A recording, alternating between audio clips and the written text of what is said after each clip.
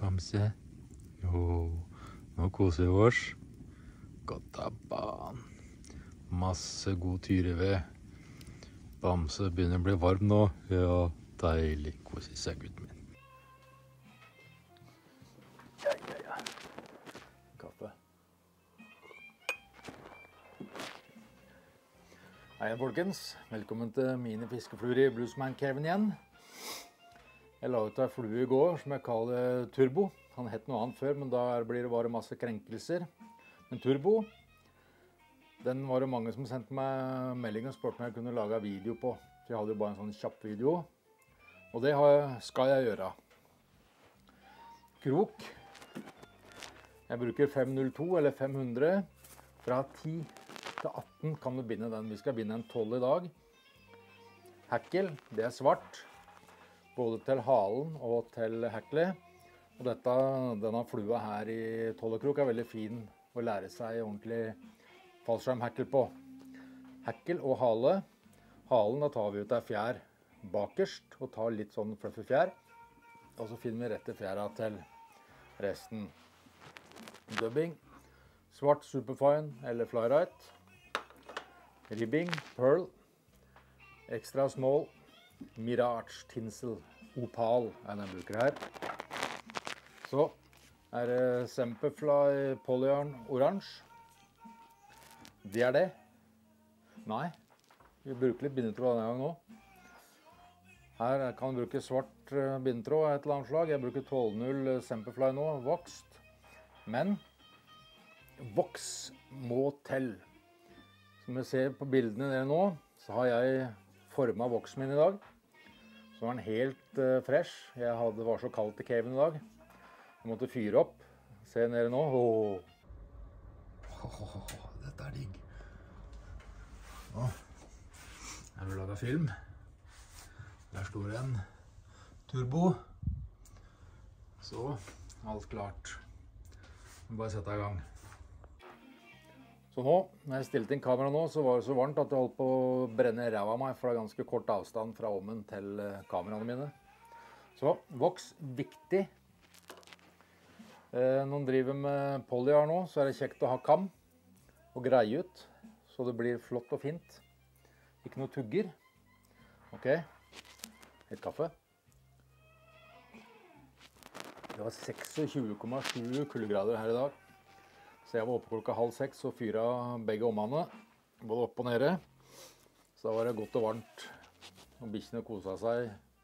Slapp ut uh, Saga i stad. Hun pilte inn igjen, bare gjorde fra seg husj, rett inn.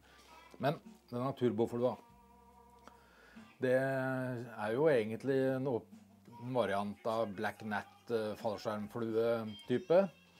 Men grunnen til at jeg begynte å bruke den for mange år siden, det er pga. en eldre kar oppe i bygda som alltid bruker denne her på skauen og i elv i diverse størrelser.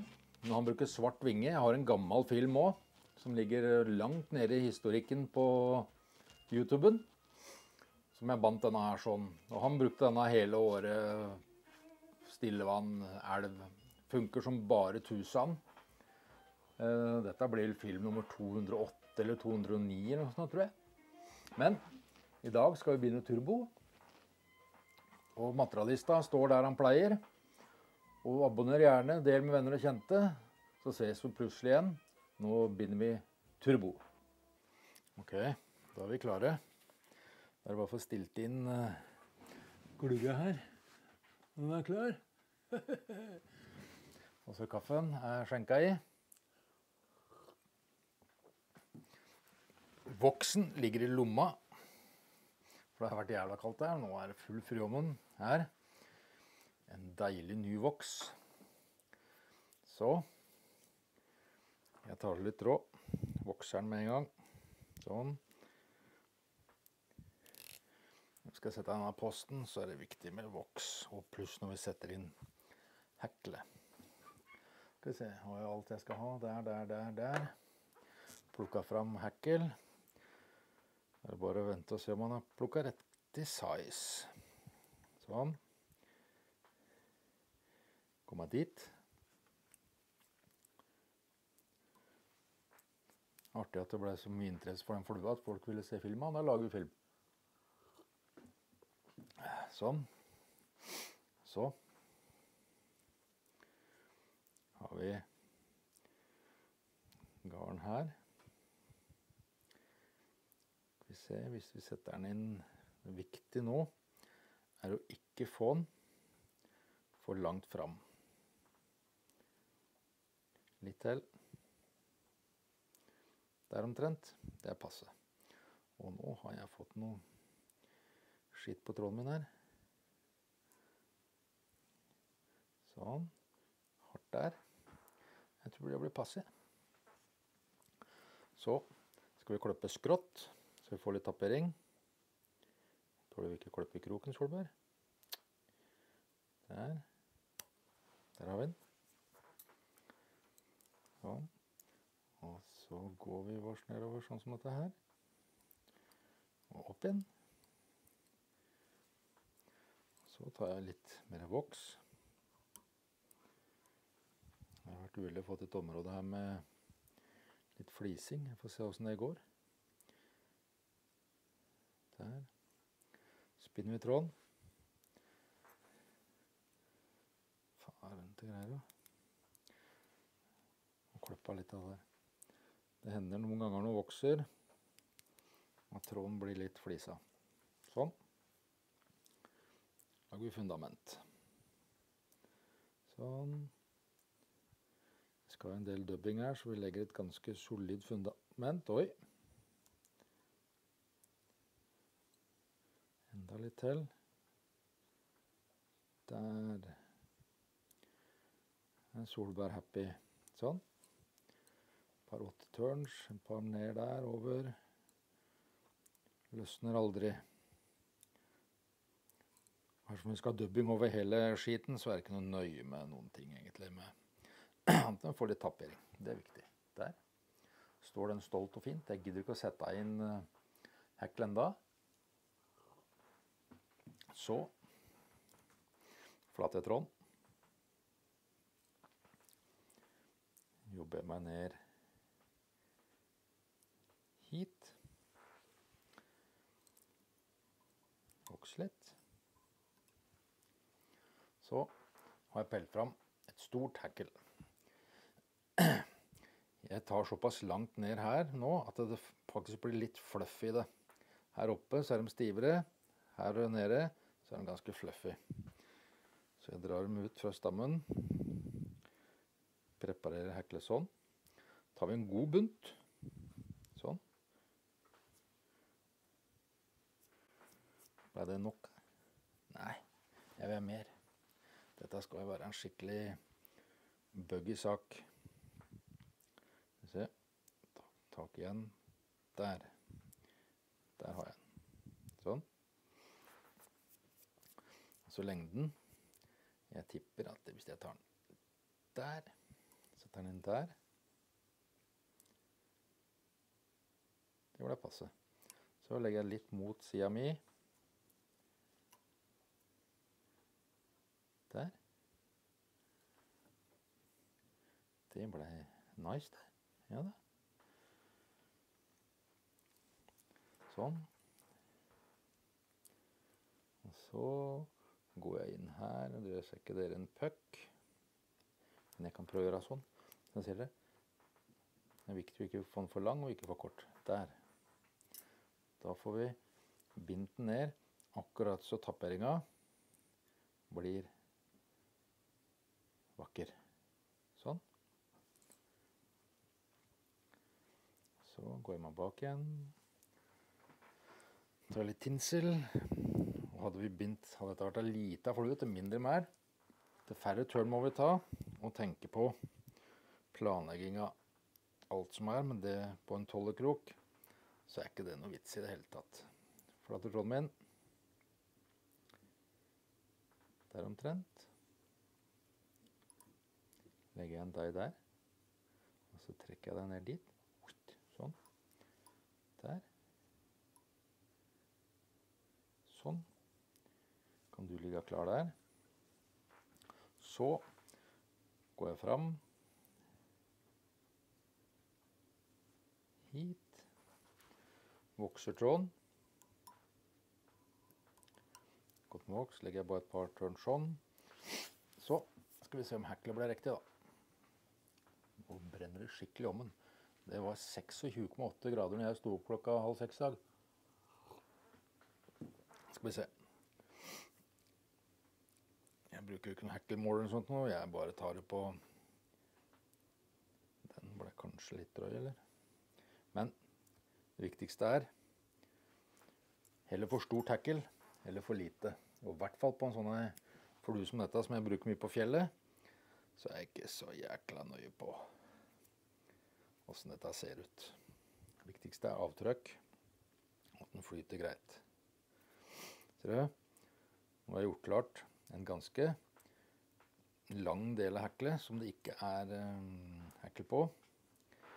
Og jeg får mye spørsmål om å lage hekkel type fallskjerm. Så buinga mot seg. Jeg spinner tråden. Sånn. Legger den der. Så litt opp. Passer jeg på å ha en halv millimeter til en millimeter på øverste av basen uten noe hekkel. Sånn, sånn, sånn og ned igjen. Da ser dere nå, når jeg begynner å vri nå, så legger heklet seg riktig vei. Hadde det ligget feil vei nå, så hadde det sprika opp. Så den ser god ut. Så binder vi ned den tappen der. Sånn. Binder den disse ordentlig, så er det fryktelig solide fluer. Dit. Sånn. Svart dubbing. Superfine eller flyright. Greia nå, nå skal det være tappering her. Nå drar vi ikke på en svær jævla haug med dubbing. Nå begynner vi pent. Som dette. Dytter vi dette opp. Sånn. Sånn. Så ligger du der. Og så der. Sånn. Så blir det kraftigere og kraftigere. Går jeg på der, så skal jeg ha på mer. Der fikk jeg noe sånn derre tjafs. Sånn. Og så skal jeg fylle på. Og høret drar i ommen. Full fyr oppe og full fyr her. Sånn. Der. Sånn. Så lager vi litt kraftig her. Der. Sånn. Ribbing.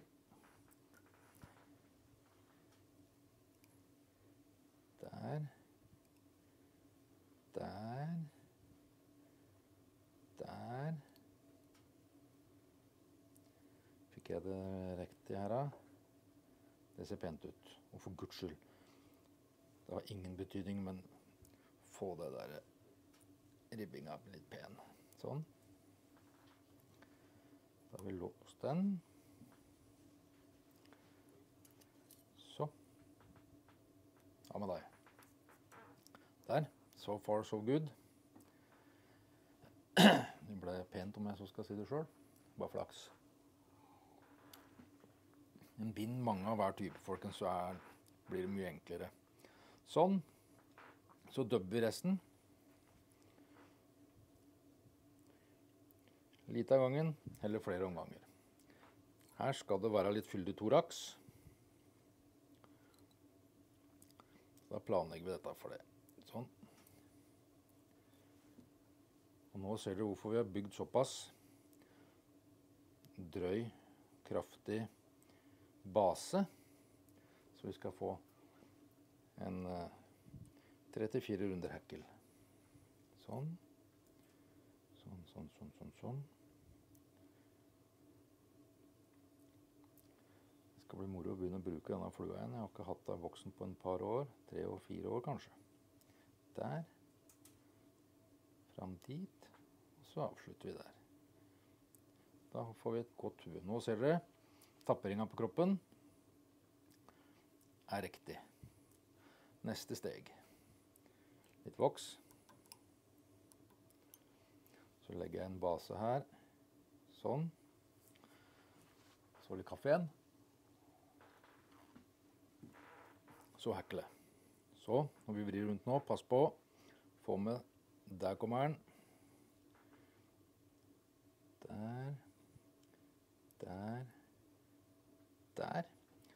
Noe mer nå, for da bare ødelegger det hele opplegget.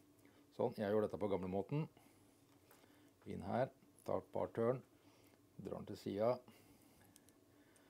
Løfter opp foran. Sånn. Så tar jeg heller en sånn liten kolpejobb. Nå ser ikke dere en puck. Skal vi se. Der.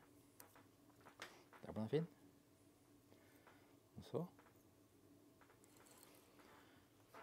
Fip-finish. Verste er at jeg bytta Vip-finish. Så tuller jeg jaggu meg litt enda. Sånn. En.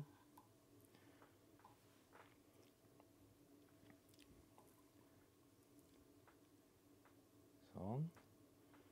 Laga litt hu på den. Oi, der. Sånn. Kutter tråden. Sånn. Skal vi justere litt hekkel. Svart hekkel er alltid litt Eller svartfarva ting er alltid litt guffent. Men dette ser fælt så bra ut. Der. Sånn. Så hender det at det er noen sånne malplasserte. Jeg har en jeg skal trekke tanna på. Der. Sånn, ja. Jeg ble fornøyd. Ser du?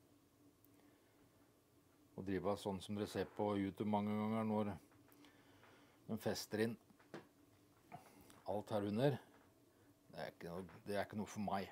For det første så vil jeg ha flua til å ligge mer ordentlig på vannet. Kontra han gjør noen binder opp. Da blir det vilgende veldig opp. Da blir det en klekker med en gang. Sånn. Så tar vi fram børsten min. Henne.